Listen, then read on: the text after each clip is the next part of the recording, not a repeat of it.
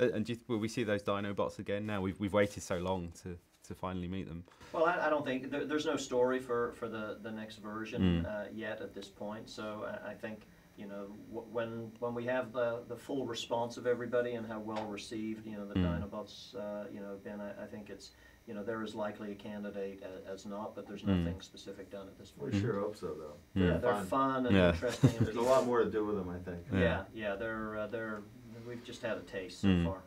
Uh, Mark Wahlberg said uh, when we were doing the premiere in Beijing, uh, in, Shang- uh, in Shanghai, he said he won't have um, uh, more uh, uh, romantic uh, relationship with me. Okay, let's see.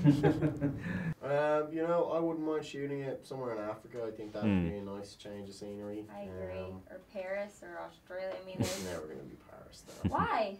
Why would it be Paris? Because we gotta shoot it in a place where the Autobots look amazing in like Like, okay, crazy hanging up on that landscape. Eiffel Tower, they can Mm. just swing on it or something. like the Parisian King Kong. Yeah.